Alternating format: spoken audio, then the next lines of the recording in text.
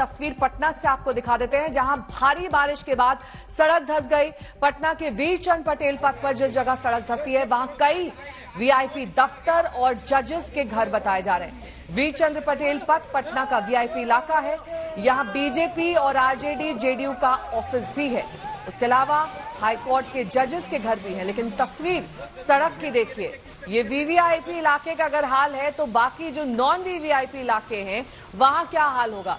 ज़मीन धंसने से कार फंस गई और घंटों की मशक्कत के बाद कार को निकाला जा सका। फिर जो जगह जहाँ पर सड़क धसी हुई थी, वहाँ पर उसे ठीक करने के लिए ये मशीन बुलाई गई। उस पूरे एरिया को कॉर्डन ऑफ़ किया गया ताकि दोबारा ऐसा हादसा ना हो।